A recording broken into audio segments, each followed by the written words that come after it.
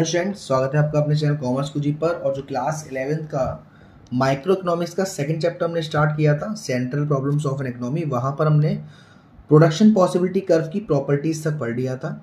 और अगर आपने वो वीडियोस नहीं देखा है तो मैं डिस्क्रिप्शन में लिंक अटैच कर दूँगा, देख लीजिएगा।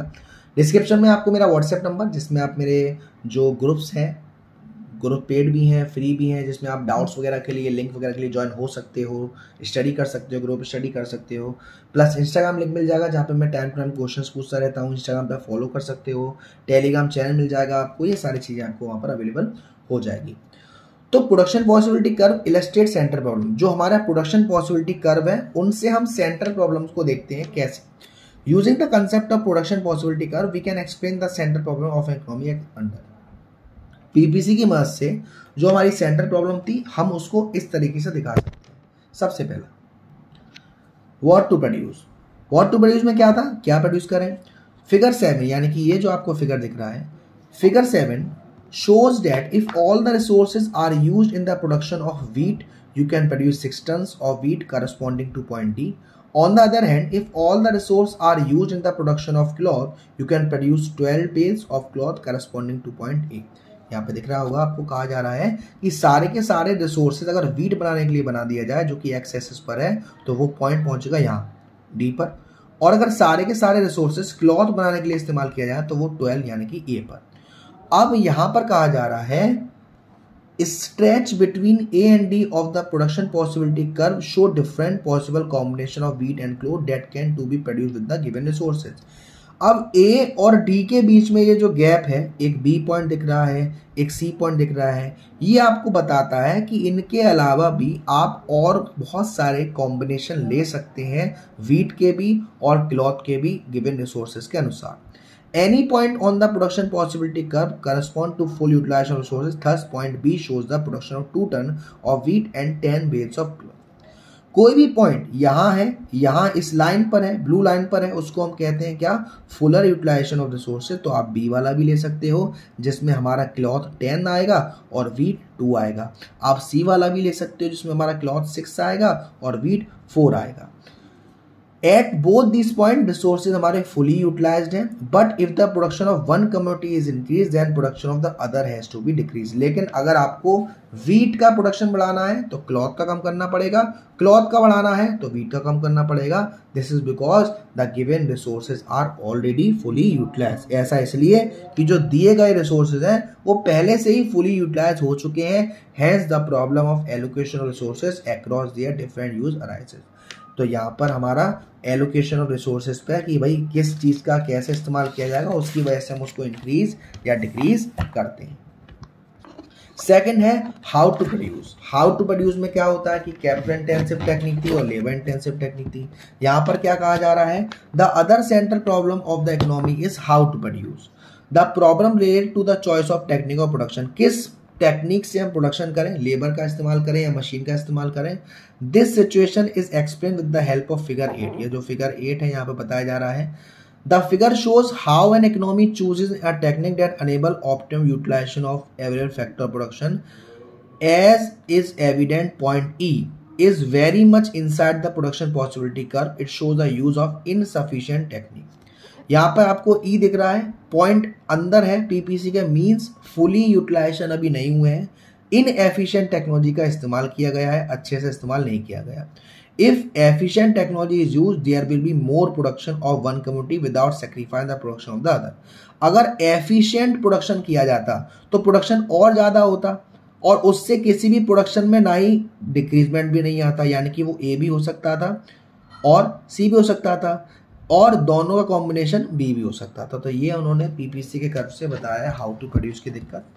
तीसरा है for whom to produce for whom to produce the problem relating to the distribution of income unequal distribution of income in favour of richer section of the society would generate more surplus for further investment भाई, किसके लिए produce करें? इसमें क्या होता है? Distribution of income यानी कि सभी लोगों पे अनइक्वल डिस्ट्रीब्यूशन होता है। इनकम का रिचर पे ज़्यादा पहुँच जाती है और गरीब पे कम पहुँच जाती है। तो इसकी वजह से पीपीसी बढ़ेगा।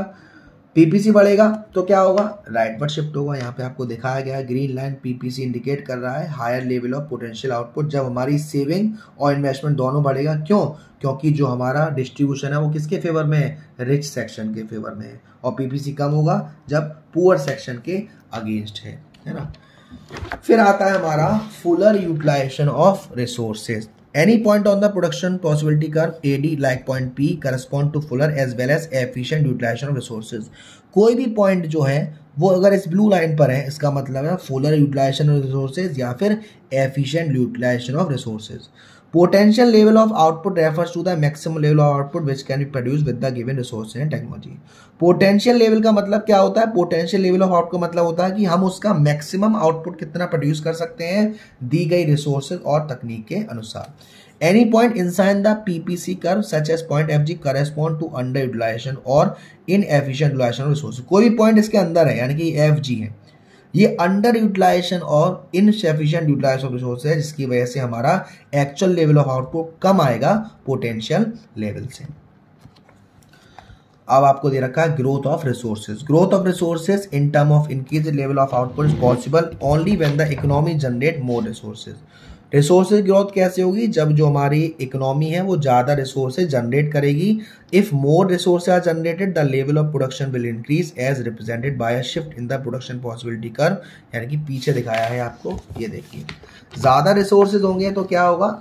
हमारा जो पीपीसी कर्व है, वो राइट पर शिफ्ट हो जाएगा। आपने देखा, पहले रहे थे रिसोर्सेज अब ज़्यादा रिसोर्सेज आए तो हमारा पीपीसी राइट पर शिफ्ट हो गया। एग्ज़ाम्पल दे रखा है supply of skilled labour like IT engineer है, इनकी इंडिया कॉजिंग राइट पर in the PPC of IT software skilled labour किसमें? आईटी इंजीनियर्स में तो इससे हमारा इंडिया में जो पीपीसी है, वो राइट पर शिफ्ट हो जाएगा किसका? आईटी सॉफ्टवेयर का। Discovery of oil reserve in Gulf country causing a right shift in this country तो ये सिर्फ़ रीजन दिखाए गए हैं कि कैसे हमारे जो पीपीसी है, वो राइटवर्ड शिफ्ट हो जाए। फिर है आपका concept of opportunity cost concept of opportunity cost का मतलब क्या होता है? जैसे कि अभी आप कहीं पर जिम लगा रखी है आपने। अब आपको मालूम पड़ा कि उसी एरिया में दूसरी जिम खुली है और वहाँ फ़ीस बराबर है, लेकिन वहाँ जो ट्रेनर है, वो लड़की है। अरे सर कैसे नहीं जाएँगे? जाना पड़ेगा। दिल है कि मानता नहीं। तो उसे हम कहते हैं अपॉर्चुनिटी कॉस्ट यानी कि पहले आप वहाँ पर जिम क्यों कर रहे थे? कि वो अच्छी थी। अब आप वहाँ क्यों जाना चाह रहे हैं? क्योंकि अब आपके लिए वो अच्छी है। तो एक सही जगह जाने के लिए, जो पहले आपके लिए सही था, उसको आपने छोड़ दिया। उसको हम कहते हैं opportunity cost let us assume that a given set of resources are to uses use one और use two If value of output in use 1 is 1000 and value of output use 2 2000, technique of production remaining constant. Use one में जो value है वो एक हज़ार है और use to में जो वैल्यू है वो दो हज़ार है. तकनीक जो है हमारे प्रोडक्शन की वो हम प्रोडक्शन की जो हमारी तकनीक है वो कांस्टेंट है ठीक है ना? Given this situation opportunity cost में be define as loss in output in use one 1000 when resource are employed not in use but in use too. In other words opportunity cost refer to value of factor in its next best alternative यानी एक से दूसरी आने पर ये जो cost का differ आ रहा है, वो हमारी क्या है? Opportunity cost opportunity cost refer करता है value of factor next best alternative uses it need to be noted that a factor में है more than two uses in any situation opportunity cost is to be taken as the value of the factor in it next best use only यानी कि हर चीज़ का दो या दो से ज़्यादा तरीके से इस्तेमाल किया जा सकता है। तो जितना बेस्ट से बेस्ट आप उसको इस्तेमाल करेंगे, उसके बीच में जो आपकी कॉस्ट इनकर हो रही है, वो हमारी कहलाती है अपॉर्चुनिटी कॉस्ट जैसे यहाँ पर देखिए रिसोर्सेज दे रखे हैं पॉसिबल दे रखा है कि हम प्रोडक्शन ऑफ़ वीट कर सकते हैं राइस कर सकते हैं मेज कर सकते हैं या शुगर केन कर सकते हैं। अब अगर पहले वाले का करोगे तो आपको दस हज़ार रुपये फ़ायदा होगा।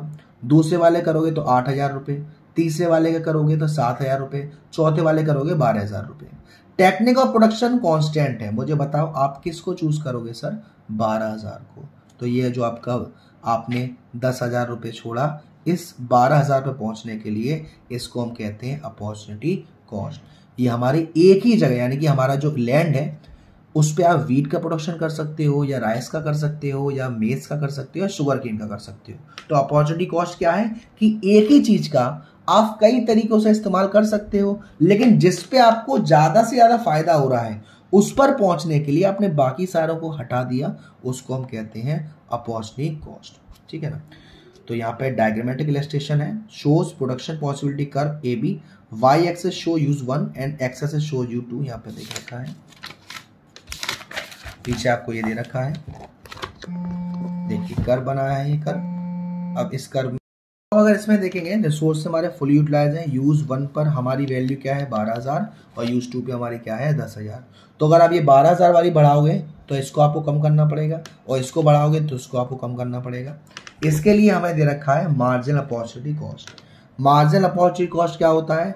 Total resources remaining constant when using the given technology यानी कि जो आपके पास तकनीक है रिसोर्सेज हमारे कांस्टेंट है। जब हम तकनीक का इस्तेमाल कर रहे हैं, तब हमारे रिसोर्सेज जो कांस्टेंट है, उसके बाद जो डिफरेंस आ रहा है, उसको हम कहते हैं एमपीसी सर, पल्ले नहीं पड़ा। देखिए, पहले हम एक्स का प्रोडक्शन एक्स कुछ नहीं कर रहे थे और वाई का प्रोडक्शन कर रहे थे दस हज़ार। अब हमने एक्स का प्रोडक्शन बढ़ाया, जिसकी वजह से वाई का प्रोडक्शन कम हो गया। फिर हमने एक्स का और बढ़ाया, जिसकी वजह से वाई का और कम हो गया। फिर हमने और बढ़ाया, जिसकी वजह से ये और कम हो गया। तो ये जो डिफरेंस आ रहा है, दस हज़ार से नौ हज़ार, एक हज़ार का नुकसान हो गया। नौ हज़ार से साढ़े सात हज़ार, पंद्रह सौ का नुकसान हो गया। साढ़े सात से साढ़े पाँच हज़ार, दो हज़ार का नुकसान हो गया। इस नुकसान को हम कहते हैं मार्जिन अपॉर्चुनिटी कॉस्ट एक अच्छी या फिर एडिशनल यूनिट को बनाने के लिए एक आपने अपना लॉस कर दिया, उसको हम कहते हैं मार्जिन अपॉर्चुनिटी कॉस्ट जिसका फॉर्मूला होता है उसी का डेल्टा वाई यानी कि loss upon delta gain delta का मतलब होता है इंक्रीज तो अब यहाँ पे आपको दे रखा है marginal opportunity cost tend to rise marginal opportunity cost tends to rise because as resources are continuously shifted from one opportunity to opportunity to their existing specialize usage stuff जब हमारी एमओसी है वो बढ़ती है क्योंकि जब रिसोर्स हम लगातार शिफ्ट करते रहते हैं एक अपॉर्चुनिटी से दूसरी अपॉर्चुनिटी पर दूसरी अपॉर्चुनिटी से तीसरी अपॉर्चुनिटी पर तो जो उसका एग्जिस्टिंग स्पेशलाइज यूज़ होता है वो बिगड़ जाता है When the specialized use of resources is increasingly disturbed, the loss of output must also be increasing. अब जैसे जैसे उसका जो स्पेशलाइज यूज़ है वो डिस्टर्ब होता रहता है उसकी वजह से जो हमारा लॉस है वो बढ़ता जाता है जैसे यहाँ पे आपको डायग्राम दे रखा है। ये आपको डायग्राम दे रखा है। यूज़ वन अब यहाँ पे आप बढ़ा रहे हैं। इसको बढ़ाने के लिए हम इसको क्या कर रहे हैं? लॉस में ले रहे हैं। तो ये आपकी फॉर्मूला दे रखा है। डिफरेंस वही है।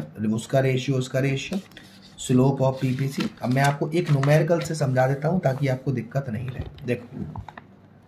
आपको यहाँ पे दो चीज़ें दिख रही हैं। वीट दिख रहा है और क्लॉथ दिख रहा है। इनमें से एक बढ़ रहा होगा और एक घट रहा होगा। दोनों में से गौर से देखिए क्या बढ़ रहा है, क्या कम हो रहा है। सर ये बढ़ रहा है और ये कम हो रहा है। इसको बढ़ाने के लिए हम इसे क्या कर रहे हैं? कम कर रहे हैं। ठीक है? अब हम करते हैं जरा क्वेश्चन फॉर्मूला क्या बताया मैंने? Delta loss upon delta gain loss क्या हो रहा है, सर? वीट हो रहा है। पहले वाला क्या था? पहले वाले को हम कर देंगे डैश ठीक? दूसरा वाला देखिए। वीट कितना कम हुआ? सौ से नब्बे, यानी दस। ये कितना बड़ा ज़ीरो से पच्चीस, यानी कि पच्चीस। तो ten upon twenty five zero point four.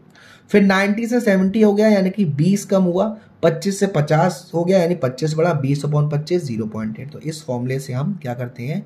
MOC निकालते हैं। तो ये आपका था second chapter central problems of an economy अगली वीडियो में हम आपका थर्ड चैप्टर स्टार्ट करेंगे consumer equilibrium utility analysis video पसंद आए तो प्लीज़ वीडियो को लाइक ज़रूर करिएगा शेयर ज़रूर करिएगा, और अब तक चैनल को सब्सक्राइब नहीं किया है तो प्लीज़ सब्सक्राइब कर दीजिएगा। Thank you so much love you all